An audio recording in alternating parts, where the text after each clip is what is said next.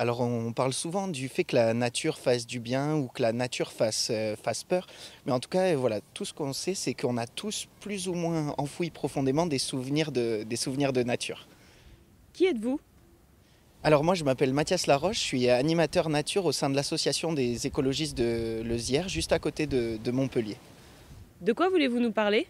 Eh bien alors moi je voudrais vous parler de ce que j'ai fait la, semaine dernière. En fait je reviens des, des rencontres annuelles de la, de la Dynamique Sortir qui était co-organisée par le réseau École et Nature et le réseau d'éducation à l'environnement breton. Mais qu'est-ce que vous entendez par sortir?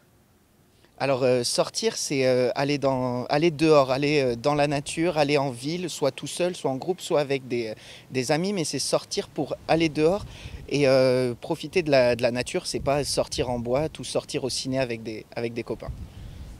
Pourquoi est-il important de sortir dans la nature?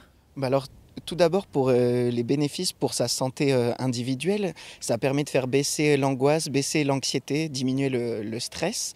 Ça permet aussi de développer certaines de nos capacités euh, physiques et notamment au niveau des, des yeux ou alors de notre, de notre corps.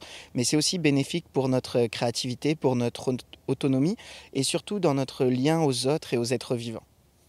Pourquoi des rencontres annuelles? Alors ça, c'est parti d'un constat des acteurs de terrain il y a à peu près 10 ans qui se sont rendus compte qu'il y avait de moins en moins de sorties dans, dans la nature liées à un certain nombre de freins, le durcissement de la réglementation, le- l'augmentation du coût des transports, mais aussi la peur d'être euh, dans la nature. Et donc, ils ont décidé de lutter contre ces freins-là. Et pour ça, il y a des rencontres annuelles euh, tous les ans. Qu'avez-vous fait pendant cette semaine? Alors, euh, on a dans un premier temps vécu concrètement euh, l'immersion dans, dans la nature, le fait de, sortir. Certains sont allés faire du kayak sur la Vilaine, euh, d'autres sont allés interroger des gens à Vannes sur leur rapport avec la nature. Et moi, j'ai eu la chance de faire partie du groupe Autonomie.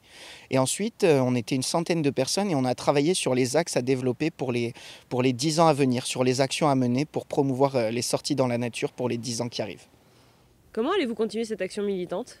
Eh bien, déjà par, euh, par cette vidéo, par mon implication au quotidien dans, dans mon travail, en essayant un maximum de, de faire sortir les gens. Et aussi, moi, mon objectif cette année, c'est de réussir à m'impliquer dans le groupe euh, Sortir 34 qui concerne le département de l'Hérault. Un conseil, une idée?